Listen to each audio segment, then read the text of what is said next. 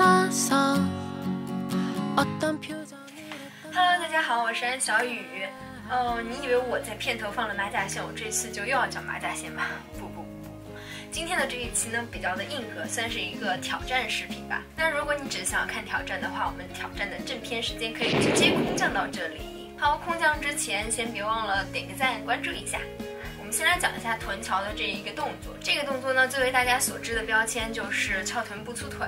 也正是这个原因呀，被特别特别多的女生喜欢。但是呢，其实还是需要去注意一下它的动作要点。要是做错的话，还是非常的容易受伤。首先呢，它训练的是我们大腿后侧的肌肉以及我们的臀部。大腿后侧的肌肉发达了的话，腿部的维度同样也会增加。所以如果单看腿围的话，它其实还是会粗腿的。不过呢，另外一方面，大腿后侧它可以给你的臀部一个更好的支撑，并且呢，它的肌肉发展。空间并没有特别特别的大，所以它从视觉上会让你的臀部看起来更翘，腿部的线条看起来更加好看。说它翘臀不粗腿也是正确的。我们先来看一下这个动作的要点吧。需要注意的呢，就是我们做到最高点的时候，不要去追求过大的幅度，嗯，不要去挺腰，一定要用力的夹紧屁屁，收紧你的腹部，让身体从侧面看成一条直线。一定一定一定不要挺腰过度。哎，如果你不知道什么叫做挺腰过度的话，来看我做这个动作。